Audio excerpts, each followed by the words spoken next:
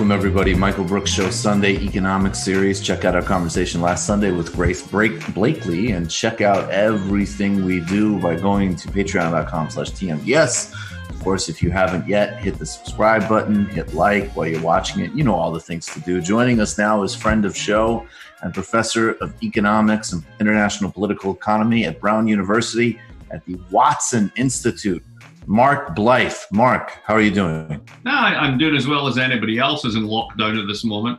I was fine yeah. last week, and then it just began to get to me. You know, when you're just beginning to feel it, you're just like, okay, there's no there's no light at the end of the tunnel. There's just tunnel. Yeah. Well, what is your sense? I mean, do, do you what is your kind of if if you had to do you have any sense of when some type of kind of rolling reopen could happen? I do, and it's kind of scary because I want to throw something else into the conversation. Yes. Which is when you put businesses and people's behaviors in the freezer for a month, that's fine. We can all go on vacation for a month, right? Even if you're if you're German, you can go on vacation for six weeks. Remember that stuff, right? but once you start to get into sort of like two, three months or even longer, then it's not clear that a lot of these things are going to come back. Things have shifted. Also, our behavior shift. So it's a really interesting bit of data out of China. So it was an area, it wasn't Wuhan, it was one of the ones that was less hip, far less hip, right? Close down, open them up again, you seem to be fine. So they lose 4% of GDP, but consumer spending is down four times as much. So when you have these events, people get freaked. It changes their underlying behavior. And you can think about this in terms of let's do a reopening, right? So, do you really want to go to a hair salon? Are you really filled with confidence about a giant movie theater? How about getting on that plane that's densified its seats, right? right? So, what I'm wondering about is the longer that this goes on, what happens if the underlying behaviors begin to shift? Right? right? So that when we come back, what we've built, what we have, our economy, is no longer adapted to the behaviors we actually have as individuals. Is there any pos i mean it, it always struck me though that if we ever could just finally and you know the united states this seems as far away as ever but if you actually had a proper social safety net that was fit for purpose in the 21st century and obviously we want to get out and i think it's very important that we not used we get used to getting isolated in our homes but on the other hand there is the uh, you know there is the old ecological we probably all should consume a bit less, be a le- bit less wasteful type of thing. I mean, is, there a scenario in which you could see some of those habits, if they were properly supported by policy, right. setting a new template for how we deal with ecological catastrophe or and so on? Oh, absolutely. But you know, yeah. the keyword you just threw in there was if we had appropriate policy, right? well, yeah. And we doing. Um, right. So, so you know, let's let's think about what's actually going on, right? Right. So the Fed so the Fed is doing even more than it did in 2008, 2009, right? Done all the swap lines of the central banks, whatever. But it's doing all this stuff that's very hard to understand unless you kind of join the dots a little bit. So what are they doing? They're buying ETFs. They're buying exchange traded funds. The people that they're doing this with are the people who make them, called BlackRock, the world's largest asset manager, right? What else are they doing? They're buying steaming piles of corporate junk. That is to say, invest, below investment grade corporate debt. How did we end up with this huge pile of investment grade, sub investment grade corporate debt? Because the Fed, all the way through from the financial crisis right to the present, kept basically interest rates very, very low. And that meant so long as corporates were in positive growth territory, they could issue tons of debt and do lots of stock buybacks. And now all those debts have gone and went, it's the Fed's job to buy them. So what the Fed is doing this time around is way more than 2008. It's basically putting a floor under financial asset prices. Now, what is it the, con- the, the Congress is doing on the Republican side? They're making damn sure that the, the financial power of the state is being used to bail out those assets on the other side. So essentially, they shower money on the corporate sector. The Fed puts in a floor under asset prices. They're all fine. Now, over here, we've got America American people. They're getting checks. Why are we using checks in the 21st century? Right. Well, right. why are we telling people to go sign on to unemployment systems when we haven't invested in government for over 40 years, tax cut after tax cut after tax cut? So that when people go there, the entire system of Florida's benefits have collapsed.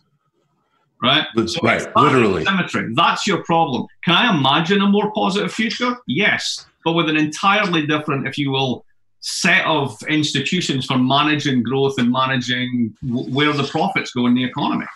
Before I want to, I want to loop back to that uh, specifically, but can you actually? I just want you to elaborate on where you were just going over. There was a great piece in the Financial Times yesterday, and you know, I guess from my sort of, uh, you know, Marxist reading the Financial Times perspective, I felt less surprised than they did. But it was a great headline of basically everybody's scratching their chins because the stock market is roaring back and we're in a global depression. I, and you know, I just wanted to, you know, can that be? I mean, I just outlined a positive potential. That right. could be an extraordinarily negative potential, right? That that there is the mechanisms to actually keep the system from falling out, but we are concentrating monopolies more than ever. Yeah. We're losing a massive amount of small businesses, which are in fact really important, regardless of where you come down politically. It's not just a Republican talking point. Totally. Uh, and and but you could still actually keep the stock market from falling out. And this might actually be, and they could look at this as like, oh, that's a fascinating new normal. We could right. have a structural depression in the economy and still do quite well. Yeah. yeah. yeah, yeah, yeah. So, so part of let's you know let's um, let's dial back the politics for a moment and just think about this as plumbing. Yeah, right? please. So, what is it that the Fed does? The Fed basically is owned by banks and the government to put money through the banking system. That's what it does, right? There's never been a case where the Fed has said we need to give money to people. And given the fact that we, for the past 30 years, basically been saying that government shouldn't be spending money and it shouldn't be doing all these things or whatever, all of the instruments, all of the plumbing that would enable you to get cash into the real economy of real people have been allowed to basically decay, collapse, or were never built in the first place. Consequently, when you turn on the taps, where does all the water flow? It flows through the Fed into the banking system because that's the world that we've built.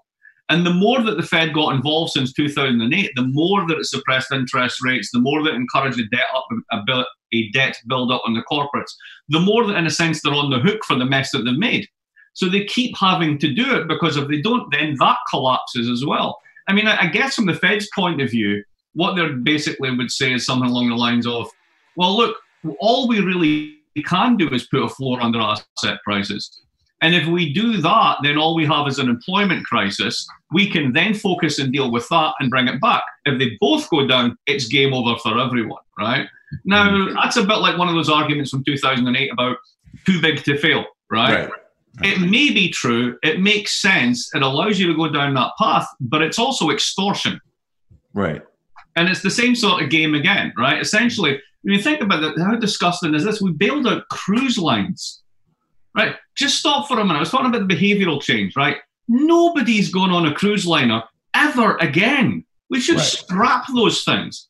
Why did we give them billions in bailouts? Possibly because people in Congress and their friends were heavily invested in Carnival and didn't want to lose any money. That's that's when you know you've got these two sides to this story. How do we play it? How are we, how are we pressing that out?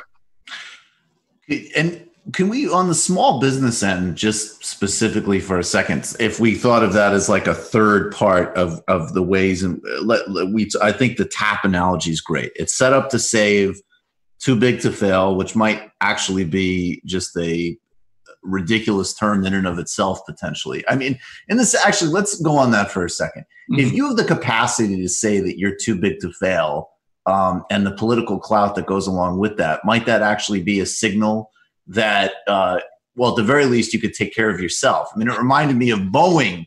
You know, remember the CEO of yeah. Boeing a month yeah, ago? Yeah. Can you talk about that? Yeah, that's what I'd like you to elaborate on. So let, us move away from Dennis himself and all the buybacks and all that nonsense, right? Let's just think about the fact that we've got four airlines that run everything. They're all the same. All the prices are the same. They've been making money hand over fist for a decade. And then once they'd done the basic investments they, they could, which were heavily levered and funded by debt rather than the free cash flow, they then take the free cash flow to the tune of $48 billion and buy back their own shares because that alters what's called the earnings per share because it's more concentrated, which makes that metric go up. And that's when a lot of these contracts are remunerated based upon earnings per share, which is part of the reason why Boeing's CEO can walk off after causing a complete financialization of the company, whereby making a 737 was important, not because it was a plane somebody was going to use, but because it was an asset you could book so you could then do buybacks. Right. That's what they actually did to the firm, right? A great American company, utterly hollowed out from the inside because of this, because of this pathetic behavior. But that type of financialization, unfortunately, has become commonplace everywhere. Right? One of the ones that happened before Corona that I was paying attention to, and a few other people were paying attention to, was trailer parks. Now, we don't think of trailer parks as assets, right? But the private equity firms do. So they were basically buying up all these mom and pops and then putting in these management structures, raising the rent and squeezing poor Americans even more and turning the entire sector into yet another asset class. And how does private equity do this? Does it actually come in with money? No, it raises debt consolidates the companies, puts all the debt on the books of the companies, which means they then have to squeeze everybody. Now, just rinse and repeat and multiply across the whole economy, from everywhere from Boeing to trailer parks. And we've just basically turned everything into a financial asset to be juiced, which is why none of us has cash, right? This is why uh, I posted something on Twitter the other week. Um, JP Morgan research, your average American business has 15 days worth of cash. Why? Because we all assume that there's going to be liquidity. We all assume that tomorrow's going to look like today. We all assume that everything's going to be fine. And if 2008 taught us one thing, that's not true. And we walked right into it again. Only this time, even more of the economy is financialized. Ironically, the banks, because of regulation, are the one bit that hasn't blown up.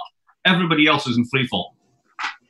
So yeah, and I was actually even thinking specifically. I think it was the CEO of Boeing who said, I think three or four weeks ago, uh, Maria Bartiromo said when when Trump did one of his sort of, oh, let me say something at a press conference that actually sounds populist, and there won't right. be any policy follow through. And they were talking for an afternoon news cycle about the idea of uh, basically the U.S. government taking some equity if Right. we're going to bail everybody out. There should Yeah. be some equity and some pretty obvious. And the CEO of Boeing, I, bel I believe it was Boeing, said, "Well, wait a second. I mean, yes, we desperately need help, and we're obviously about to collapse, and our hands are out.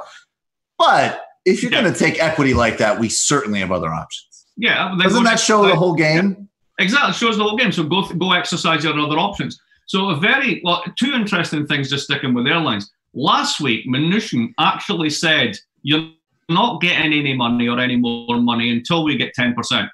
So that's actually still alive, even in the US. But the really interesting one is in the UK, where the British Chancellor, the equivalent of the finance minister, has told all of the airlines, go exhaust every other possibility before you come near me. And if you come near me, I'm taking ownership. Yeah. So, you know, you can do this. It's just a choice. What about the small business component? We've explained you explained really well why the the system is geared towards protecting the financial institutions, and obviously, I think that you know there's a whole other set of stories we could talk about in terms of the decades long attack on organized labor, and which you've talked about on this show, and I'd love you to loop back to, but. uh, Specifically, uh, you know, small business not as something to to romanticize, but at the same time, something I think we need to be real about. That this is one of the only vectors left in the economy that even if you walk around New York City and you think, what is left that's still renting out some floor space that isn't a goddamn Duane Reade or Starbucks Mhm. might be a decent small restaurant. A third of those Right. might not come back. Right. Partly because to go back to that behavioral change, right? Yeah. You open up New York tomorrow, right? Are we going to get together in Brooklyn at that Italian that's down the road from you? Maybe, but maybe not.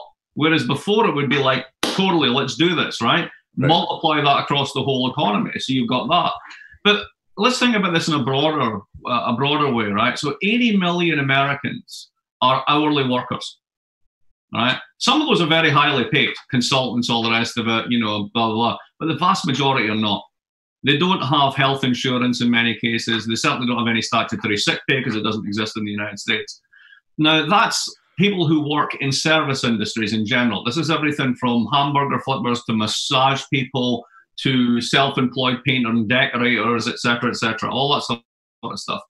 And some of those things are going to not just survive, thrive, right? So if you think about the digital economy, we're able to do this because of the digital infrastructure. Right. If you're part of that space, you go no further than 20% of the stock market is basically five tech firms. You know, Amazon, Apple, et cetera, et cetera, right? That's that trend's only going to continue. But let's think about something that like is, is very literally touchy feely, massage. I mean, after this, are you ever going to get a massage again? Right.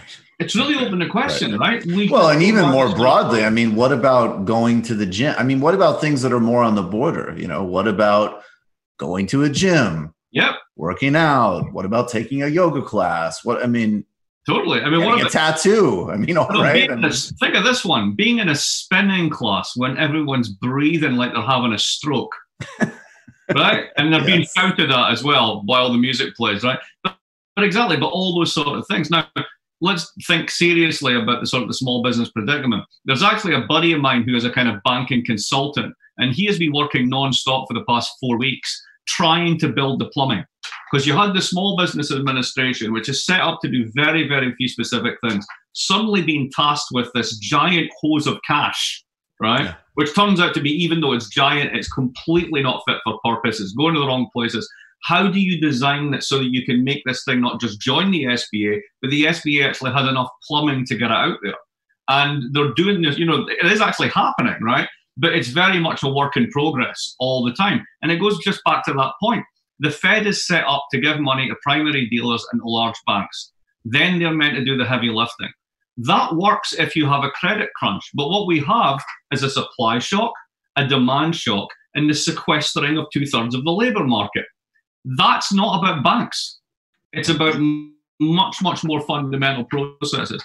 And you see this in the European response. What do you do? You backstop the banks and you say, keep paying wages. Just keep doing it. Pay it at 80%. That's pretty much the response, along with the Germans, shorten the hours, right? And we basically just decided not to do that. It's unemployment plus a check. well, can you go in deeper into that contrast, and then I want to get to China later. But what what are the Europeans doing, and maybe the UK is somewhere in the middle? Uh, as distinct from the United States. And uh, you know, and and take this as far as you want, but when I look at the bailouts that have passed and everything from just the sort of craven, I mean, you know, one Republican lobbyist was quoted in, a, I think it was a post piece of saying, "Hey, when things like this happen, my clients see an extraordinary amount of opportunity, and we could take this from, you know, the the sort of comedic." Uh, you know, like Adidas, uh, Adidas wants, uh, you know, they yeah. they wanted a, some nice goodies to actually incentivize gym memberships. Ironically, uh, down to things that are you know much much more craven and much much more monopoly creating. But can you just contrast the bailout approaches and maybe when you between the Europeans and the United States, and maybe then you can remind us of that story that you've told so well of the broader changes in the political economy in the last couple of decades and why even as Europe has been affected uh, mm-hmm. in the same way is it just as simple as the fact that they still have some resilient labor power that has not allowed them to go as extremely far as the United States in this kind of just complete consolidation? It is, but it's also broader than just labor. Yeah. Um, it's a very simple way to think about it shock absorbers. So the, the technical work I've been doing is on something called growth models. And basically, what is that? It's what bit of GDP does a country need to tickle to get growth, right? So if you're Greece, it's basically beaches because, and that counts as a, a services export. If you're Germany, it's the auto sector selling cars around the world. So you're export driven, blah, blah, blah, right? Now, uh, Anglo economies are typically consumption driven, very services dependent, and they adjust to shocks basically by not having them or through unemployment and austerity and then bailing out the financial system, right? And then you get that classic V shaped recovery, right? Europeans are different. Europeans basically, even if their growth comes from exports rather than consumption or whatever, they are open economies, uh, and therefore, big, open economies tend to have bigger welfare states. It's a different type of shock absorber. So even though they've been neoliberalized, even though they've been financialized or whatever, they still have those infrastructures in place, those shock absorbers in the car.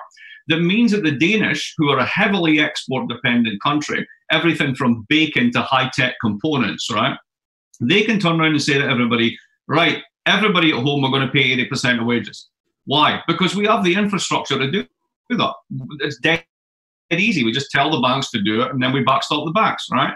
Pretty much all of Europe has that. The big surprise has been Britain. Britain, despite Brexit, is behaving much more like the rest of Europe than it is the United States. The United States really is the outlier in this one. Before we went live, I said, look, the analogy I use for this is comparing a Volvo to a Mustang. Right. So if you allow me to do it again, Please essentially like a Volvo is a nice, powerful car, but it's got a shit ton of airbags. And one of its main claims to fame is if you crash in it, you'll probably live. That's a pretty good example of a sort of dynamic side of the European economy, right? Your northern export countries, big welfare states, but you know, like that. Now, what's the United States? The United States is basically a 10 year old Mustang 5 litre GT with this extra supercharger that you've thrown on just for shits and giggles. So long as it's heading in a straight line and so long as all the components are perfectly aligned and everything is working great, it's amazing. The minute it hits a bump in the road, or worse still, a big smacks into a wall, you're dead.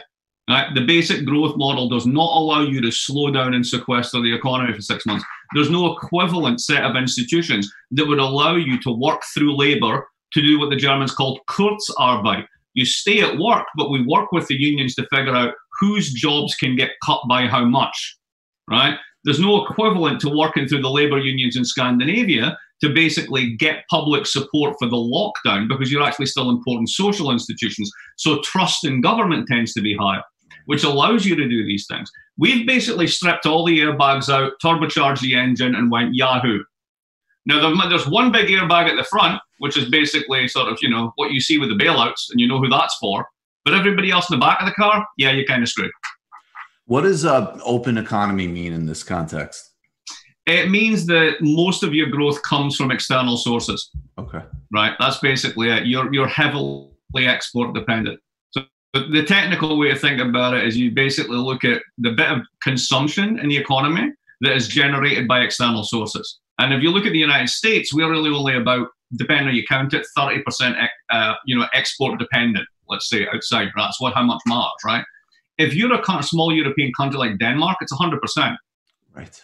right? You know, you're living a very, very nice, rich life in Denmark because you're able to sell some really, really impressive shit around the world.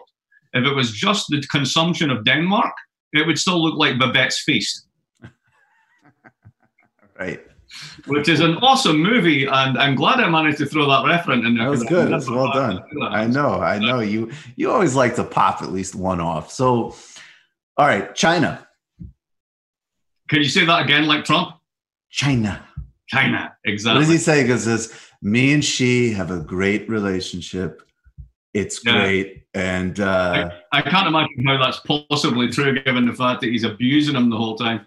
Uh, all right, so where do you want to go with China? What do you want to know about China? I want to know. Okay, so so I hear so many different. I want well, I want to just focus very specifically.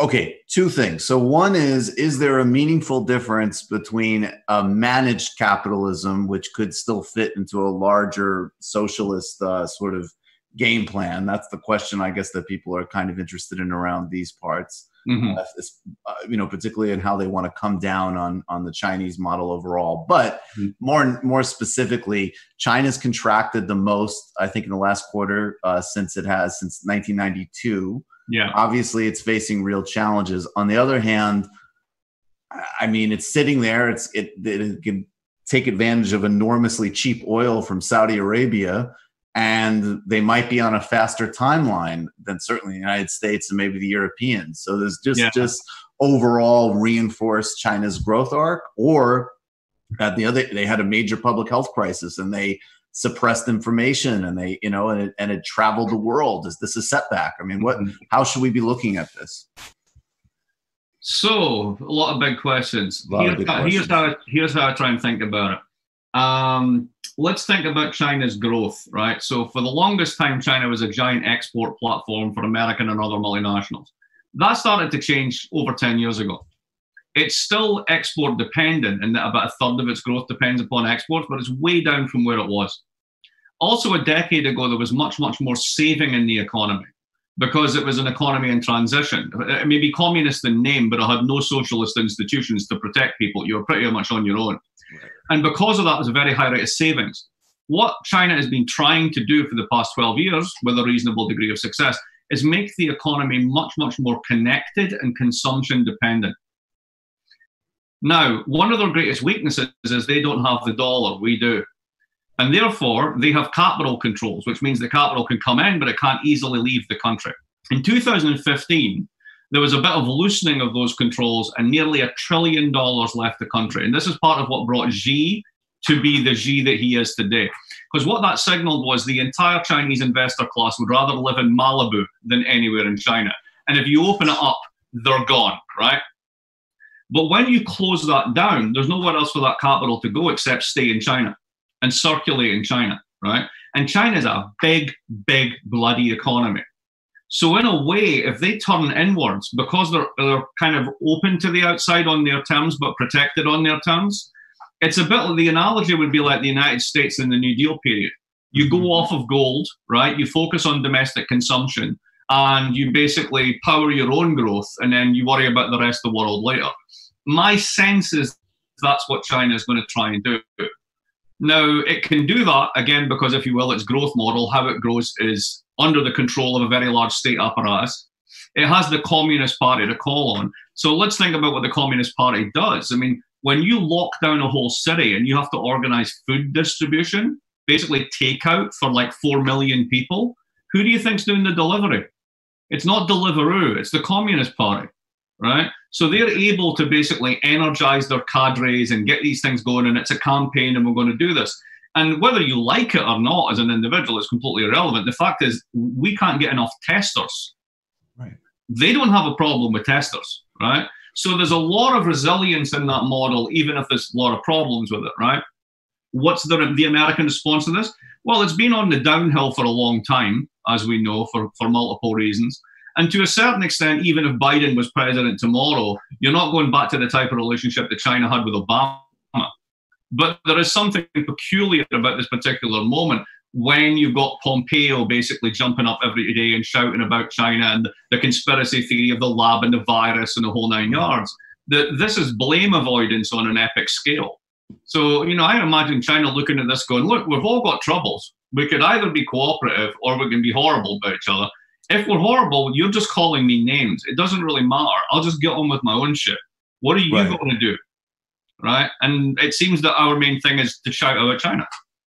And that's just because of the complete failure of right.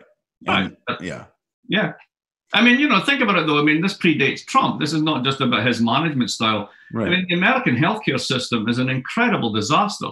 Yeah, I mean, can you talk about that? I mean, because it also strikes me that you know, just as we could acknowledge some of the successes of China, we also could. I mean, everybody wants to talk about South Korea. That's the big NPR place, but they don't want to also acknowledge Mhm. the fact that Bernie Sanders was the only one clo- remotely approximating the healthcare system like South Korea. So, I Yeah. mean, that's the other one you have to put into the mix, right? Is just the unique disaster of the American healthcare system. So I've got a piece up on foreignaffairs.com that touches on this, and I got another one coming out in foreign policy sometime next week that's about this specific issue. It's like, look, if you want to design a set of institutions which are optimized to not produce healthcare but to produce profits and vulnerabilities, we built it. Congratulations, right? Right. So, uh, you know, the, the point of the insurers is not to insure, it's to avoid risk, right? The point of the hospital is not to provide public health, it's to employ doctors and nurses to do elective procedures to make profits, right? The number one um, specialty uh, of doctors is dermatology, right? Because you get to do nose jobs, right? So, you know, just uh, add in how much money it costs to go to graduate school to be a doctor, the catastrophic insurance, etc., etc. This thing is not geared towards public health at all. Now, you wanted a, a silver lining. A silver lining could be this: just as only Nixon could go to China, Trump might be the one as a as a play if this goes really bad to try and really socialize medicine, because all of those insurers are going to be broke if this continues. All those hospitals are going to be bailed out by the government anyway. Isn't that already? They're already indicating. I mean, that's the big Pelosi Yeah. plan so far is a big bailout for the insurance companies. Now, I get what you're saying about Trump, and I understand. I mean, he even already said that a couple of weeks ago. He goes, you know, it doesn't seem fair. But at the same time, you know, he says these things occasionally. but the totally. but the Republican Party is just you know like many Democrats is owned essentially by these interests. So I mean, is that what we're in store for? A big insurance company bailout? Well, it could be, but you know, the thing Yeah. is, if you bail them out, the only way it works is if they start to get premiums in, and they get premiums in because people are paying premiums because they're in employment, right? And, and if you've got thirty percent unemployment, there's no functional model that the insurers can have. You literally can't use that model anymore. It's done, right?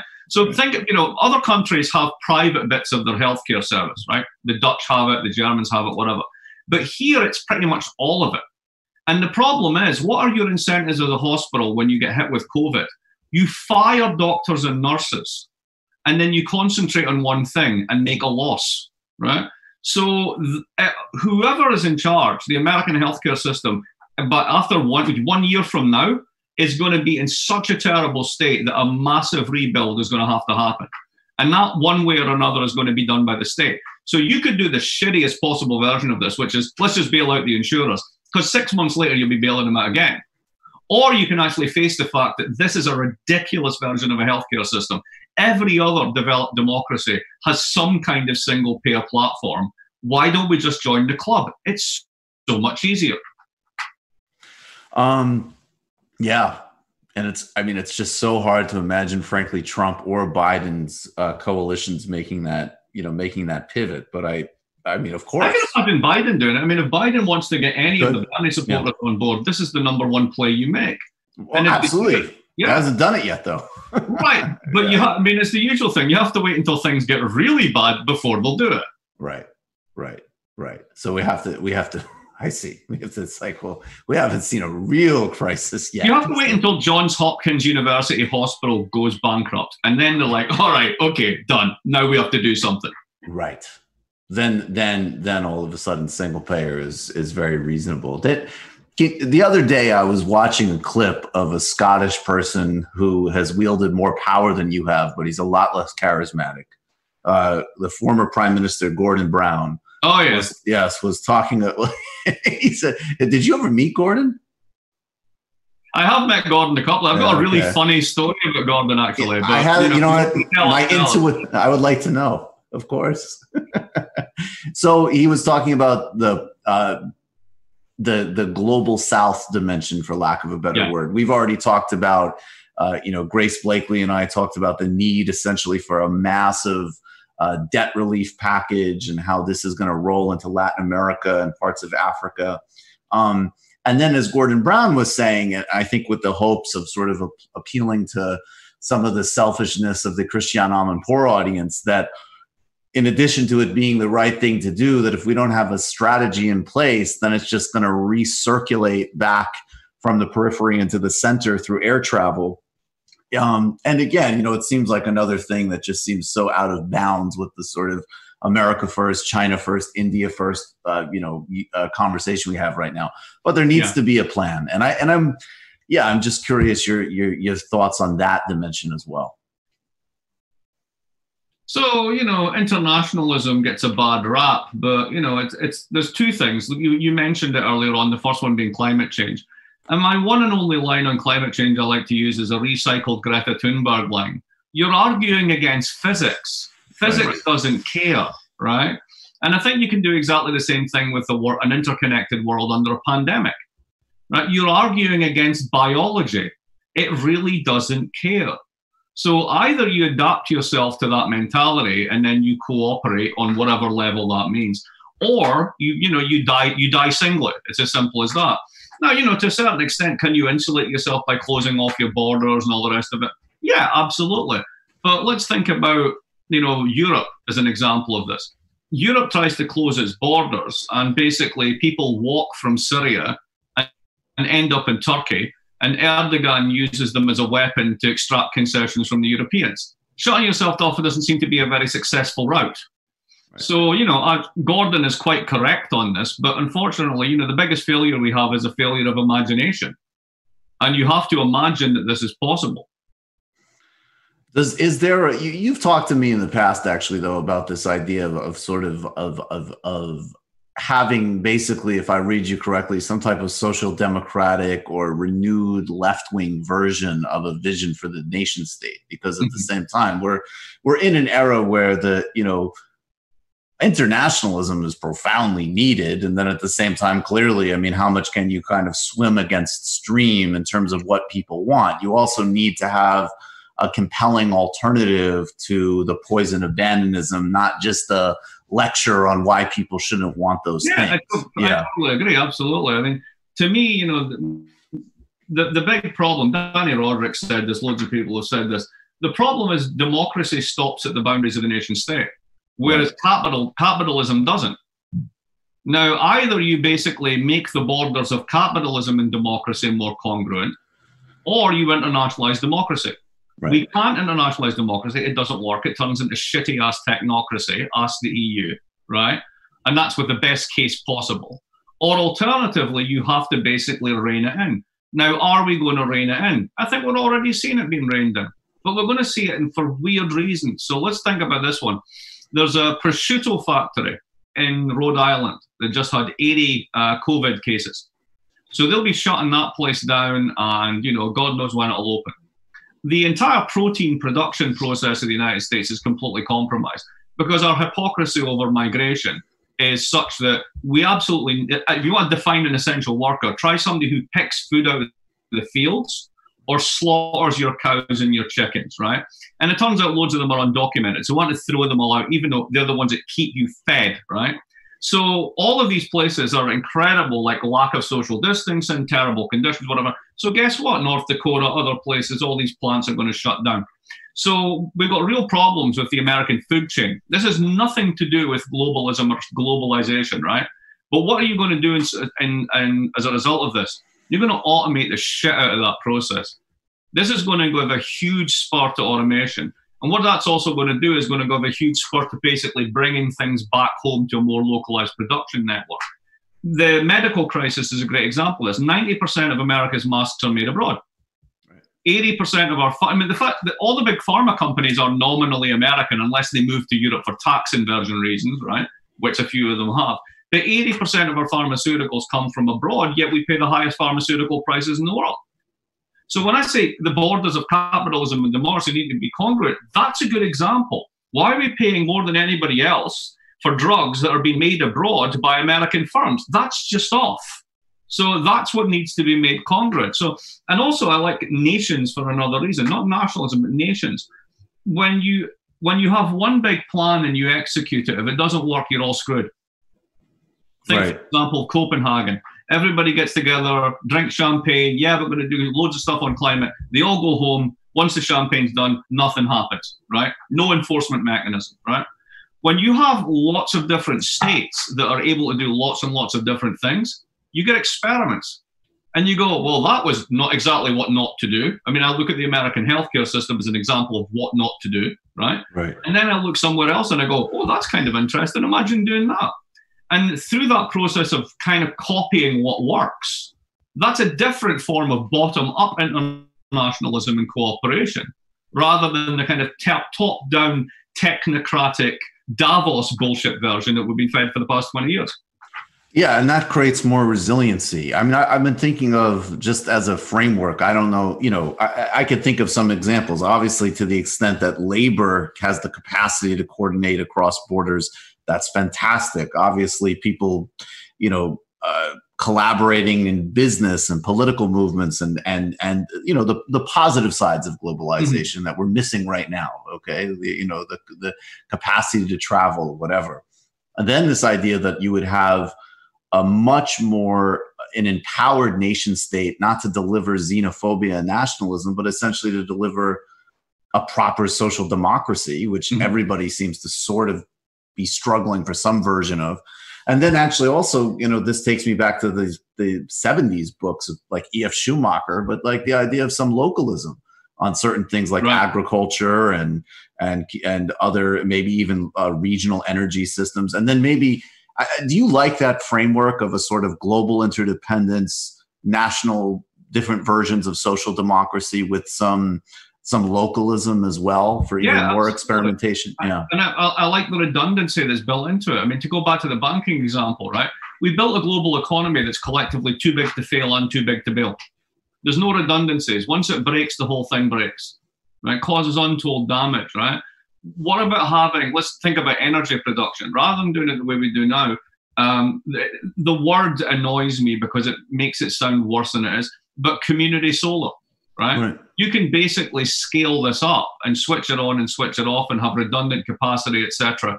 You could read 30% of all the emissions in the United States come from buildings. The big problem in doing it is basically the codes vary so much. And then what do you do to meet code to get up whatever. But these are technical problems that could be solved.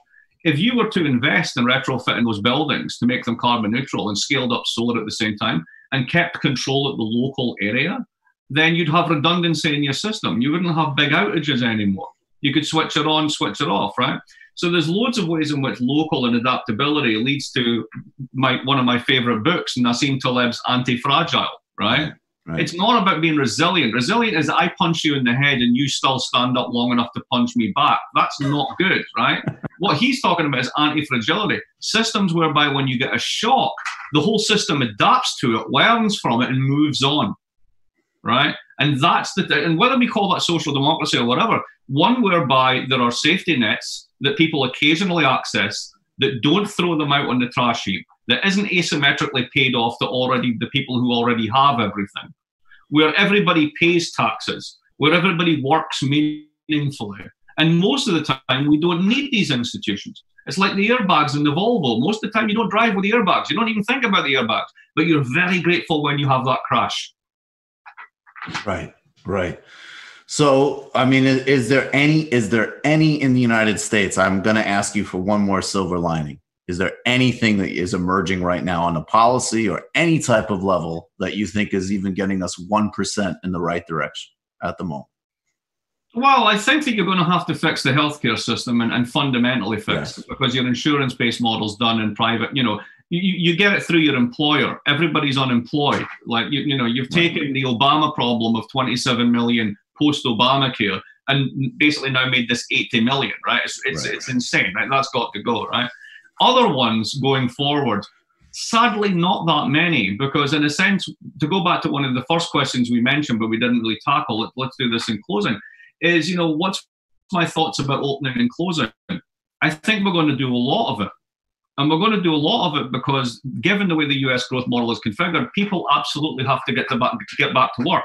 Now, look at the Michigan protest. There was two very important pictures of that protest. One was all the guys with beards and AR-15s right. and all that, but they were not the majority. It was the people in the governor's mansion with their faces pressed up against the glass, who were basically sort of like lower middle class white Americans, right? They're desperate. We know this strat. We've heard it 100,000 times by now. 40% of all Americans would have trouble getting 400 bucks together in an emergency. The emergency started four weeks ago. That 400 bucks is gone. Millions of people in this. Look at the food bank lines, for God's sake. Five miles in some places, right?